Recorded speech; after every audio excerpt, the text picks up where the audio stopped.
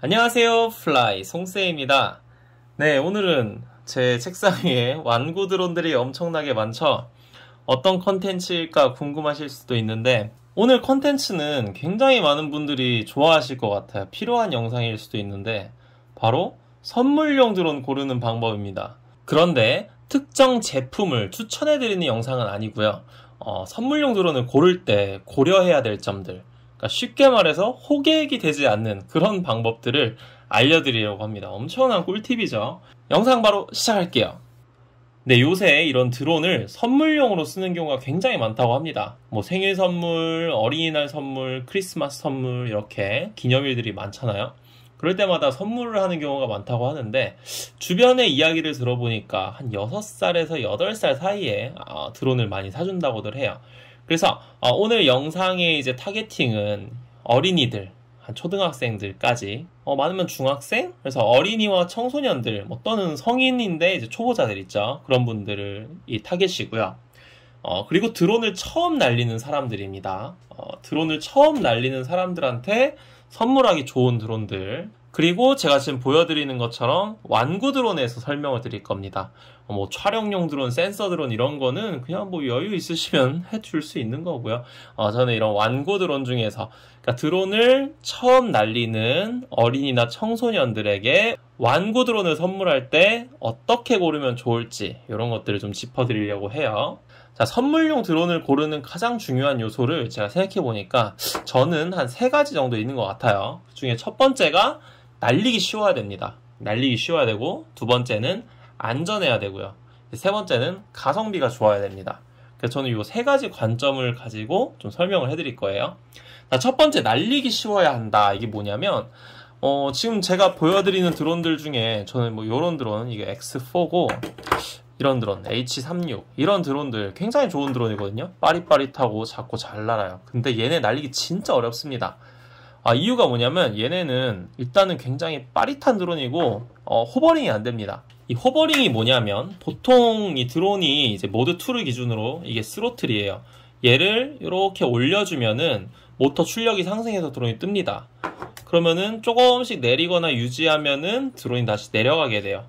드론은 이 조정만 하는 게 아니고 오른쪽 손가락으로 전후 좌우 이 기동을 해줘야 되죠. 그리고 뭐 요거 요 우측 이동까지 해줄 수도 있는 거고요. 그래서 두 손을 다 써야 되는 거죠. 드론을 조종 잘 하려면. 그럼 드론을 처음 날리는 사람한테 요거를 이거 다 이렇게 시킬 수 없잖아요. 처음 날리는 사람들이 보통 이렇게 날리다가 어 하고 몇 번 받고 아 어렵다 내 드론은 너무 어려워요 이런단 말이 이게 제일 많습니다. 그래서 몇 번 날리지도 않고 그냥 박아두다가 어, 선물을 실패하는 거죠. 근데 이게 hovering 차이예요. hovering 차이. 그래서 hovering이 뭐냐면 이 드론이 고도를 유지하는 거죠. 내가 throttle을 올렸을 때 throttle에서 손을 떼면 고도를 유지하는 겁니다. 그러면 이제 왼손을 사실상 조작할 필요가 없잖아요. 오른손으로만 조작을 해도 고도가 유지된 채로 왔다 갔다 하는 거예요. 이 hovering이 없는 드론들은 오른손을 이렇게 계속 조작, 왼손을 계속 조작을 해주면서 오른손을 해야 되는데 hovering이 되는 드론들은 띄워놓고 이렇게만 해도 된다는 거죠. 조종이 훨씬 쉬워졌죠. 그래서 hovering이 되는 드론이 조종하기가 쉽습니다. 조종하기가 쉬워야 왕초보들이 어, 선물 받은 걸 잘 날리고 재밌게 날리겠죠. 그래서 날리기 쉬운 드론은 첫 번째 hovering 되는 드론을 사셔야 됩니다. 첫 번째로 이제 hovering 되는지를 보시고요. 제가 이따가 그 사이트를 보면서 이런 것들 고르는 걸 같이 보여드릴 거예요. 자, 그다음 두 번째 이제 안전이에요. 안전. 어, 요런 드론들 보시면 드론은 보통 프로펠러가 이제 플라스틱이에요. 플라스틱. 연질 플라스틱이죠. 고가의 드론으로 가면 카본으로 가지만 저가 완구용 드론들은 이제 플라스틱이란 말이죠. 근데 이 플라스틱이 굉장히 빨리 돌아요. 네, 이 프로펠러가 그냥 만지면은 아, 뭐 이 정도쯤이야 할 텐데 얘가 엄청난 속도로 돌아서 양력을 일으켜서 이 드론의 무게를 띄우는 거거든요. 그러면 이렇게 빨리 도는 플라스틱 아무리 이렇게 말랑말랑한 플라스틱이라도 맞으면 피부에 닿으면 까질거나 상처가 납니다. 근데 피부면 다행이지 얼굴이나 눈 이런 데 맞으면 흉지고 막 큰일 날 수 있단 말이에요. 특히 우리가 선물하려는 건 이제 아이들이잖아요. 드론 조종이 미숙한 아이들일수록 사고 날 확률이 높습니다. 그래서 이런 가드가 있어야 되는데 자 그럼 이런 이렇게 생긴 가드 이렇게 생긴 가드도 좋죠. 이렇게 생긴 가드도 좋습니다. 그런데 드론이 이렇게 나는 게 아니고 이렇게 날잖아요. 그래서 가드가 있다 하더라도 부딪히면서 계속 돌면 한 바퀴만 돌아도 피부에 베일 수가 있는 거예요. 그래서 이런 가드가 나쁘다는 건 아니지만 요런 드론이라든지 이렇게 아예 막혀 있는 가드를 쓰는 드론들 또는 이런 드론들. 이 드론을 보면 아예 어, 프로펠러를 감싸주고 있죠 가드가. 그래서 이런 드론을 쓰시는 게 훨씬 더 안전하게 날릴 수가 있습니다 일단 안전하게 날려야 어, 초보자들이 드론에 대해 겁을 많이 안 내고 좀 비행 연습을 잘 할 수 있겠죠? 네 그래서 선물용 드론을 고르는 두 번째 요소는 바로 가드였습니다. 특히 이런 식으로 동그란 가드가 있는 게 좋고요. 어, 이거랑 좀 맞물려서 나오는 기능인데 바로 비상정지 비상정지. 제가 아까 이렇게 충돌했을 때 프로펠러가 계속 돌면은 살을 베일 수가 있잖아요. 그것뿐만 아니고 벽에 박아도 얘가 떨어져서 계속 휑 돌고 있으면은 어 이거 어떻게 어떻게 하다가 잡다가 이제 손가락을 또 다칠 수가 있단 말이죠. 그런데 완고 드론에도 비상정지 기능이 있는 드론들이 있습니다. 비상정지가 뭐냐면 드론이 충격을 받는 순간 모터가 정지해 버리는 거예요. 그럼 당연히 뚝 떨어지겠죠. 드론한테 좋은 기능은 아니죠. 근데 어차피 충돌하면은 거의 떨어지잖아요. 그래서 어, 충돌하는 순간 모터가 정지하니까 사람한테 부딪혀도 모터가 정지해서 상대적으로 덜 다칠 수 있습니다. 그래서 이 두 번째 요소, 안전 요소 중에 이 프롭 가드, 그리고 가드가 되도록 이렇게 좀 가둬져 있는 가드가 더 좋고요. 그리고 비상정지 기능이 꼭 필요하다고 어, 말씀드리겠습니다. 자, 그리고 세 번째는 제가 가성비라고 말씀드렸어요. 가성비, 가성비가 뭐예요? 투자한 대비 어, 효율이 좋은 게 가성비가 좋다잖아요. 아, 선물용 드론으로 한 20만 원 정도 썼어. 아, 많은 분들이 또 그런 분들이 계시더라고요. 이제 너무 싼 거 한 5만 원 안쪽 2만 원, 3만 원짜리 선물하긴 좀 그러니까 막 10만 원, 20만 원 이런 드론을 사세요. 근데 아, 이게 가성비가 안 좋습니다. 그래서 뒤에서도 이제 설명을 드릴 건데요. 이 선물했을 때 가장 좋은 거는 아까도 말씀드렸다시피 선물 받은 사람이 잘 날리는 거잖아요. 많이 날리고 재밌게 날리고 이 드론을 가지고 많이 놀수록 좋은 거잖아요. 저는 그게 가성비라고 생각하거든요. 그래서 굳이 막 10만 원, 20만 원 주고 산 거를 아, 막 생각보다 이제 별론데? 이렇게 하는 것보다 좀 싸게 주고 샀는데 훨씬 더 잘 가지고 노는 게 저는 더 좋은 선물이라고 생각을 합니다. 그래서 선물을 하는 사람 입장에서도 큰 부담이 없고 받는 사람이 잘 가지고 노는 게 좋지 않나 생각을 하고요. 그런 면에서 제가 말씀드린 이런 요소들을 갖춘 완구 드론은 5만원에서 10만원 사이에요. 아, 사실 제 생각은 5만원 안쪽인데 제가 갖고 있는 드론들이 다 5만원 안쪽이에요. 거의 다. 이거 다 만원, 2만원, 3만원, 4만원 이렇게 산 거거든요. 근데 얘네 제일 잘 날립니다. 이거 넘어간다고 해서 드론이 더 좋아지지 않아요. 막 획기적으로 좋아지려면은 센서형 드론을 가셔야 되고 센서형 드론은 기본으로 막 50만 원부터 100만 원, 200만 원 하는 드론이에요. 물론 그런 드론들은 진짜 좋습니다. 선물하기는 좀 부담스럽죠. 그러니까 적절한 완구 드론의 적정한 가격인 5만 원, 10만 원 많이 쳐줘야 10만 원 이내에서 어, 좋은 드론을 고르시는 방법을 오늘 이제 설명을 해드리고 있는 거고요. 자, 그러면 선물을 고르는 분들이 가장 많이 실수하시는 가격대가 바로 이제 아까 말씀드렸다시피 10만원에서 20만원 사이에요. 이게 왜 그러냐면 너무 싼 걸 주느니 좀 그렇다 생각해서 그냥 좋은 거 주자. 근데 10만 원에서 20만 원대 사이 드론들이 어떤 드론들이냐면 막 별게 다 있어요. 막 1080p full HD를 찍을 수 있다. 4K를 찍을 수 있다. 막 one key return headless mode에 온갖 뭐 FPV 화면부터 별게 다 들어가 있거든요. 그러니까 이런 거에 현혹되시면 안 됩니다. 거기 스펙에는 1080p 4K 써 있지만 이게 우리가 쓰는 촬영용 드론의 1080p 4K랑 차원이 다르거든요. 일단 짐벌이 없어서 영상을 쓸 게 못 되고 화질도 말만 4K지 뭐 이미지 센서나 이런 게 워낙 조그맣기 때문에 화질 엄청 구립니다. 옛날 뭐 옛날 구형 스마트폰 화질 정도 될 거예요. 그래서 이거는 촬영 기능이 없는 게 낫죠. 촬영 기능 없이 그냥 비행성이 좀 더 좋거나 하는 게 훨씬 낫거든요. 그리고 짐벌이 없거나 짐벌 성능이 너무 안 좋아서 쓸 게 못 됩니다. 또 뭐 그런 가격대 드론들은 FPV가 된대요. 그러니까 화면을 실시간으로 전송해서 휴대폰 앱으로 볼 수 있어요. 근데 이런 앱의 UI도 상당히 좀 허접하고 별로입니다.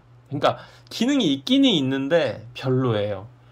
또 제일 많이 보이는 것들이 이제 고가형 드론을 좀 표방한, 표절한 겉모습이거든요. 보면 다 매빅처럼 생겼어요. 근데 얘는 겉모습이 매빅을 닮았을 뿐이지 비행성도 떨어지고 GPS 정확도도 별로고요. 화질도 별로예요. 그러니까 별로예요. 그래서 완구 드론을 그 선물하실 때는 그런 거에 현혹되시면 안 됩니다. 자, 그럼 마지막으로 이제 정리를 해드릴게요. 딱 이것만 고려하세요. 첫 번째, 자동 호버링입니다. 자동 호버링. 호버링 뭐냐면, 스로틀을 손을 떼고 있어도 드론이 고도를 유지하는 거예요. 이거는 지금 밑에 기압계라는 센서가 달려 있으면 기압계를 통한 hovering을 합니다. 크게 비싸지도 않아요. 그러니까 기압계가 있는 드론, hovering이 되는 드론, 뭐 headless mode 있으면 좋은데 거의 다 들어 있으니까 뭐. 두 번째, 안전한 드론이에요. prop guard가 있어야 되고 되도록이면 이런 guard보다는 이런 가드, 이런 guard보다는 이런 guard를 가진 드론들 고르시는 게 좋습니다. 그리고 어, 비상정지 기능이 있는 그런 드론을 고르세요. 세 번째 가격대입니다. 가격대 5만 원에서 10만 원 사이가 적절해요. 그 마지막 네 번째요. 네 번째. 이거는 배터리예요. 보통 완구 드론이 3분에서 5분 날아요. 많이 쳐줘야 5분인데 실제 비행 그냥 한 3분, 4분 한다고 생각하시면 됩니다. 그럼 선물 받았을 때 배터리 한 개, 두개 들어있으면은 한 5분? 길어야 10분 날리고 1시간, 2시간 충전하거든요. 몇 분 날리지도 못하고 충전하느라 다 끝난단 말이죠. 그래서 배터리를 짱짱하게 사주면 됩니다. 그러면은 어 완전히 thank you죠. 그러니까 선물 받은 사람들은 딱 그 needs를 충족하는 거거든요. 비행하기 쉽죠. 어, 안전하죠. 많이 날릴 수 있죠. 최고예요. 자, 일단 제가 말씀드린 것들을 좀 보기 위해서 이렇게 알리익스프레스에 들어왔어요. 네, 보시면은 별의별 디자인의 드론들이 다 있는데 거의 다 비슷하게 생겼죠. 이제 매빅을 좀 표방한 그런 드론들이 많습니다. 가격대가 착해요. 드론이 비싼 게 아니거든요. 근데 저렴한 가격대 18,000원인데 4K 말이 안 되는 거 이거는 18,000원에 4K FPV 접이식이라고 써있는 것 같은데 그냥 걸으면 됩니다. 네. 그러니까 이도저도 아닌 드론들이 사실 좀 많아요. 이렇게 보시면은 요거 한번 볼게요. 요거는 좀 탐나는 게 일단은 프롭 가드가 예쁘게 생겨서 보겠습니다. 제가 말씀드린 그 안정성을 충족하는 거죠. 일단 네, 노카메라 3 배터리가 있네요. 카메라 없이 카메라 필요 없습니다. 카메라 없이 배터리 3개가 지금 3만원이고 1080p 카메라가 달려 있는데 4만 원대예요. 그러니까 이게 보시면은 카메라가 없는데 배터리 3개가 3만 원이잖아요. 그리고 카메라가 있는데 배터리 3개가 44,000원이에요. 그러면은 1080p FHD 카메라가 지금 만원, 14,000원 밖에 안 들어간다는 거잖아요. 말도 안 되는 소리입니다. 그러니까 카메라 없는 게 훨씬 낫습니다. 그렇다고 해서 막 무조건 없는 거 사라는 건 아니고 그냥 있으면 좋긴 한데 이게 있어도 아, 이거 막 4K가 4K HD 픽셀이래잖아요. 그러니까 이게 큰 의미가 없다는 거예요. 제가 말씀드리고 싶다 말씀드리고 싶은 거는 카메라가 이 가격대에는 완구 드론에서는 큰 의미를 갖지 못한다라는 걸 좀 말씀드리고 싶고 일단은 이 디자인 자체는 굉장히 훌륭합니다. 안전해 보이네요. 이제 기능을 봐야 돼. 기능. 기능을 보면은 어, brushed motor 어, 비행 시간이 11에서 15분, 충전 시간 40분. 이 RC 거리는 radio controller 거리고 FPV 거리는 이제 화면 전송 거리인데 50에서 80m라고 써 있어도 그냥 10m 이내에서만 날리시면 됩니다. 완구 드론은 멀리 날리는 드론들이 아니에요. 완구 드론은 실내에서 날리거나 바람이 없는 날 10m 이내에서 날리셔야 드론을 쓸 수 있지. 안 그러면은 바람 타고 연처럼 날아가는 게 완구 드론이에요. 자, 여기 보니까 고도 유지 모드 기능이 있네요. 아, 자동 hovering이에요. 이게 바로. 그래서 고, 기압계가 있어서 고도를 유지한다. 오, 이 드론 좋네요. headless mode는 네, 있으면 좋은 거고, one button 복귀는 좋아요. 자, 그럼 패키지 드론, 어, 원격 제어 이게 뭐지? 그래, 배터리. 충전 케이블, 예비 blade 프로펠러, 보호 커버가 있네요. 그러면은 지금 제가 말씀드린 걸 다 충족을 한 거거든요. 아, 이렇게 한 번에 찾아내면 안 되는데. 그러니까 이 드론은 어, 안전하게 생겼고 안전한 보호 guard가 있고 자동 호버링이 되고 고도 유지가 된다는 거죠. 기압계가 있어서 그리고 가격대가 착해요. 가격대가 3만원 밖에 안 해요. 4만원. 이거 배터리 막 추가해도 5만원을 넘어가지 않습니다. 어, 이런 드론이면은 너무 잘 찾았는데요. 네, 하나 더 찾아볼게요, 그러면. 어, 제가 그렇다고 이 드론을 사라는 게 아니죠. 이런 것들 있잖아요. 이걸 보시면은 15만원짜리 드론인데, 보실게요. 보이면 이렇게 기능이 있네. 풀옵션으로 볼게요, 일단. 어, 어, 비행 범위가 3,000m, 3km를 날 수 있고, 2시간 28분 날고, 어, 원격 녹화 앱 제어되고 7.4V에 3000mAh예요. 그러니까 이셀 드론이라는 거거든요. 이셀 드론. 체중은 250g 미하고 360도 장애물 회피, GPS one key return 난리 났어요. 제스처 촬영 인식 난리 났네요. 자, 이거를 저는 써보지는 않았습니다. 제가 이 드론을 써보지는 않았는데 굉장히 멋있게 생겼네요. brushless 모터를 또 달고 있네요. 네, 그런데 제가 보기에는 어, 90%의 확률로 이 드론은 별로일 거예요. 이 별로라는 게 뭐냐면 여기서 나와 있는 이런 그런 스펙들이 실제로 어, 구매자를 그리고 선물 받은 사람을 충족시키지 못할 것이다 라는 거죠. 굉장히 뭐 매빅이랑 거의 똑같이 생겼는데 이거 실제로 날려보면은 그냥 뭐 알루미늄 같이 네, 멀리 멀리 날아갈 겁니다. 50배 줌이 된대요. 와 50배 줌 5G 좋은 말을 다 갖다 붙였습니다. 실제로 DJI나 이런 오텔 스카이디오라는 그런 메이저 브랜드가 있잖아요. 이거 이 정도 기능 다 넣으면은 500, 500, 400, 500은 됩니다. 한 4, 500만 원은 돼야 되는 드론을 15만 원에 팔았다는 건 그냥 한 놈만 걸려라 하는 거죠. 네, 믿으시면 안 됩니다. 네, 또 보면은 요새 이런 드론이 약간 핫한가 봐. 위에 뭐 달고서 지금 다 4K에 막 GPS, 5G, 와이파이 좋은 말 다 갖다 붙였는데 다 5만 원, 17만 원 이러는 거 보니까 약간, 예, 요런 게 좀 그, 저가형 그런 약간 짭 드론 시장에서 요새 유행인가 봅니다. 제가 제일 좋아하는 디자인이 사실 이런 거예요, 이런 거. 요거 한번 보겠습니다. 아, 얼마나 안정적이야, 보면은. 근데 얘는 아마 날리기엔 좀 작아 보이는데. 어, 얘 altitude hold가 있네요. 얘도 고도 유지가 있네요. 지금 보시면은, 어, prop guard 있고, 고도 유지 있고, headless 모드. headless 모드는 근데 다 있는 거니까. 원키 26, 네, 괜찮은 기능이에요. 어, 네, 스피드 조절 3단계 가능하고, 어, 요거, 요거, 요거, 요거. 아, 아 내구성이 좋다. 난 또 떨어지는 줄. 15분 날 수 있다 근데 배터리 하나당 5분, 3개니까 15분. 아, 조그맣네요. 이렇게 조그만 드론들이 사실 비, 집에서 날리긴 좋은데, 많이 예민한 민감한 그런 드론들이 많아요. 그래서 초보자들 어린아이들이 쓰기에는 처음에는 좋지 않을 수 있고 나중에 많이 익숙해지면 요것만큼 날리기 좋은 게 없어요.